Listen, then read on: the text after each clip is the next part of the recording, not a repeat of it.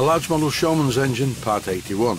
Making an ornamental stainless steel cylinder cover is a tedious and very slow job, but allows me to show some of the processes as I machine the part using a piece of stainless steel which is far too big to start with, but at least I can show the making of this part in detail.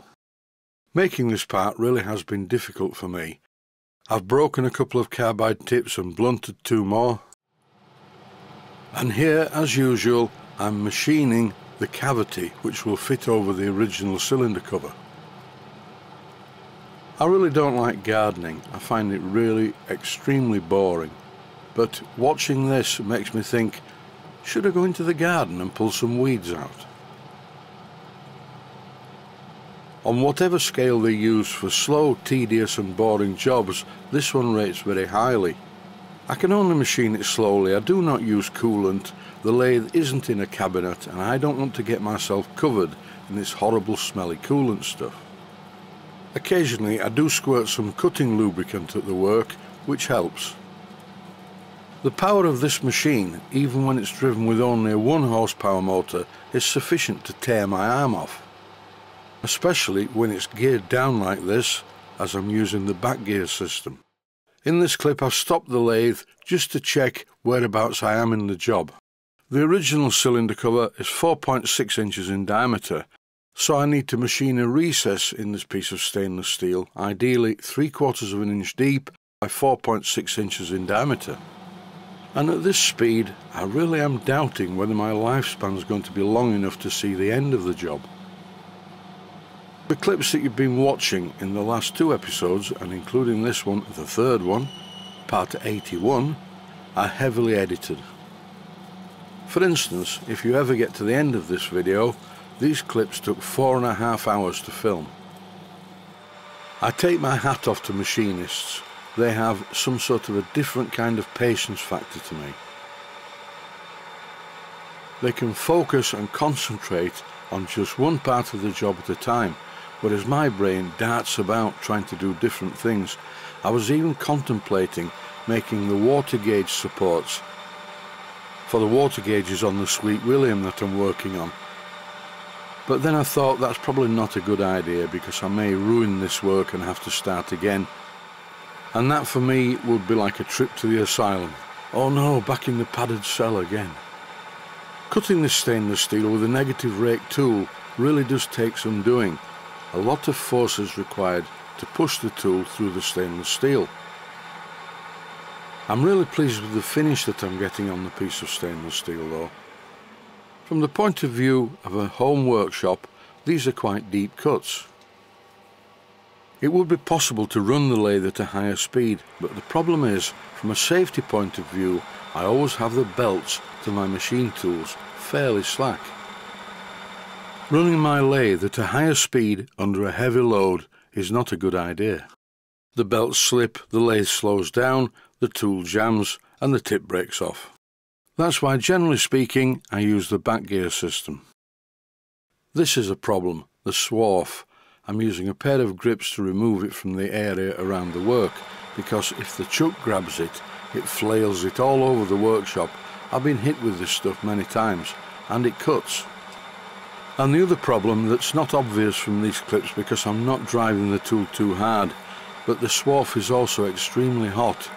Sometimes if you do go fast, well in fact most of the time, you can see small sparks around the cutting area and the swarf really is very hot stuff.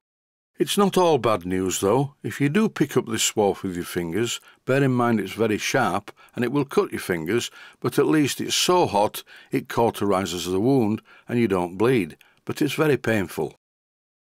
Last night my eldest daughter and my first wife went out into York and I was really glad to do that because after a day in the workshop watching this happen, I really was ready for a change of scenery. We went to a place by York Minster called the Guy Fawkes Inn, which is a pub restaurant. And I can really recommend this place, particularly the Guy Fawkes pie. And I'm not supposed to eat things like that because I'm diabetic, but I do now and again, and it really was absolutely excellent. So if you ever find yourself in York in the UK, not New York in the USA, visit the Guy Fawkes Inn just round the corner from York Minster. After quite a while, the recess was starting to develop. Not quite deep enough, but nevertheless, I can do a test fit with the cylinder cover. I've cleaned the paint off round the outside edge. And I'm afraid this is me at my most stupid, making a total beginner's error. The cylinder cover wasn't really a tight fit in the recess, just a firm fit, but the minute that the cover went in, the outer part of the metal, the stainless steel, started to shrink and grabbed it. The piece I've been machining was quite hot. The cylinder cover was very cold.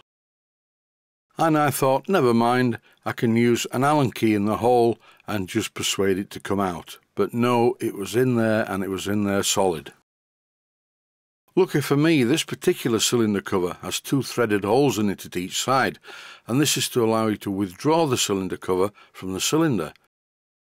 And thankfully, by inserting a couple of quarter BSF Allen bolts and screwing them in towards the stainless steel cover, the original cylinder cover soon came loose.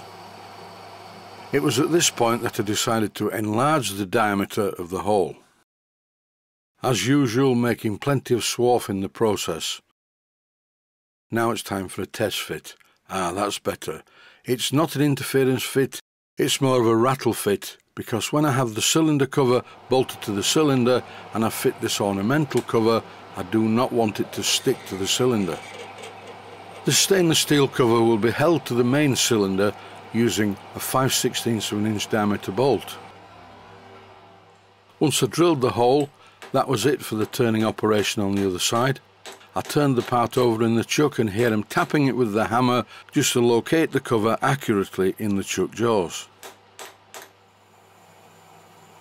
Now I need to remove quite a lot of metal, both across the front by facing and also longitudinally.